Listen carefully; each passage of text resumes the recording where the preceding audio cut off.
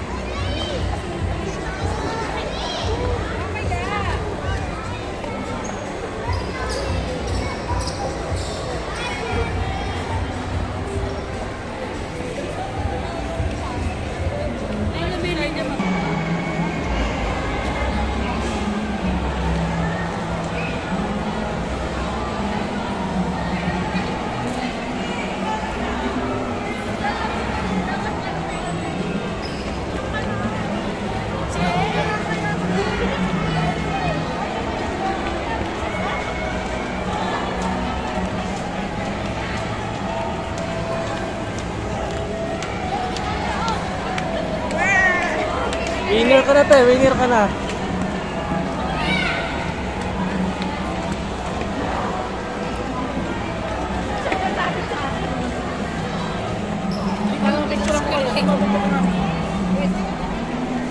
Wait, ito siya, just, just like that. Ito. Ito yung...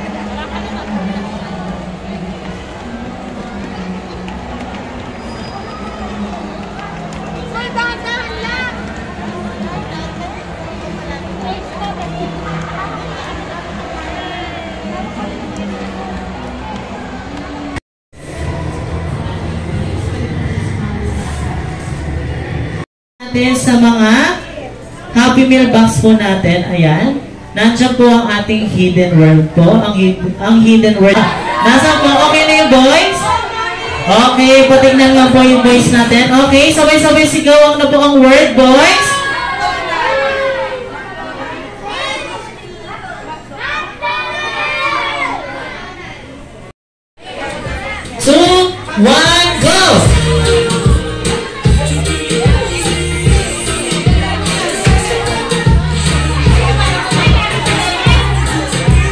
Iwasan po yung tintas yung tissue natin.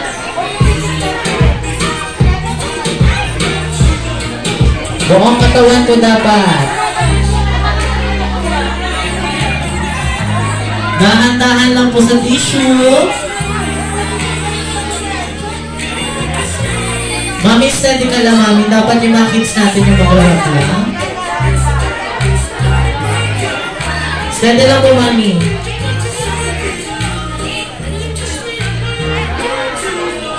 Lang po sa tissue.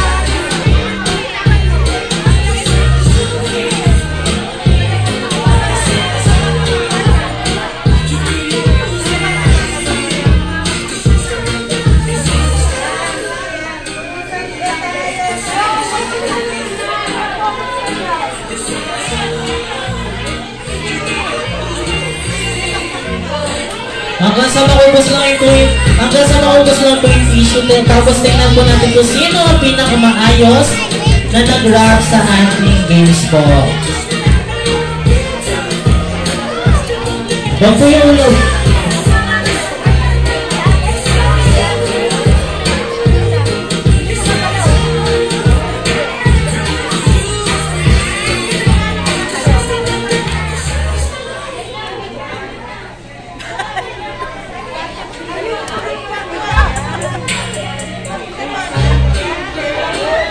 Okay, 10, 9, 8, 7, 6, 5, 4, 3, 2, and 1. Okay, ito lang po yung dalawang mamis natin. Tingnan natin kung sino ang pinakamagandang magandang rap.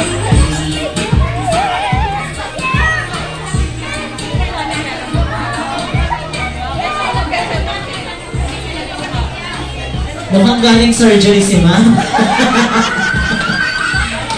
okay, so, sino po? So, ang magdidesisyon po yung mga guests po natin dito sa ating Master Day Out po, okay? Sino po sa ating Team Red po? Sigaw po ng awu ang gusto mo manalo. Awu!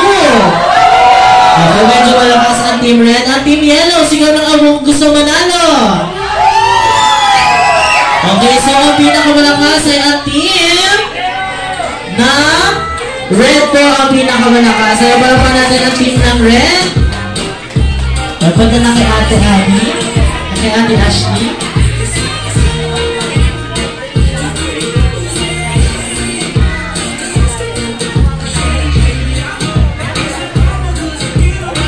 Ito is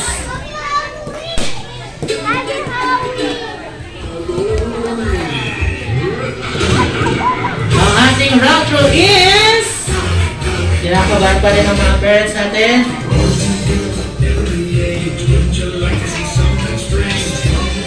Princess Elsa!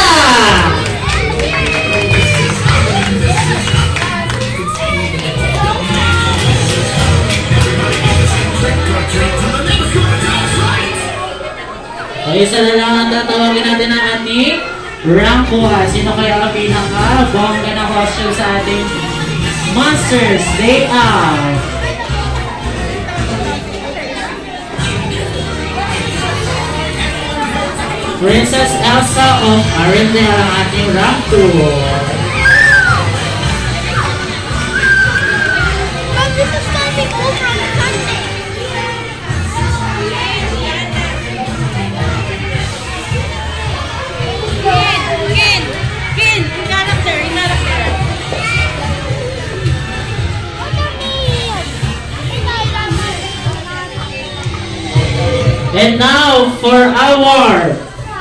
rank 1. Sino kaya pinakamagandang basic costume natin? So, ating rank 1 is...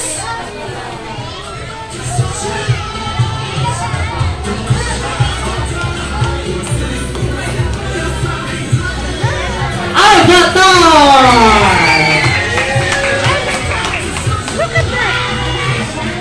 Yan, sila po ang ating top 3. Ang ating top 3 po is si Pennywise po. Ating top 2, si uh, Princess Elsa. At ating top 1 is si Avatar. Ayan pala pa natin ang ating top 3 in basic costume.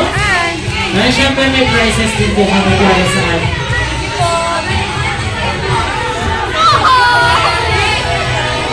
Thank you so much po.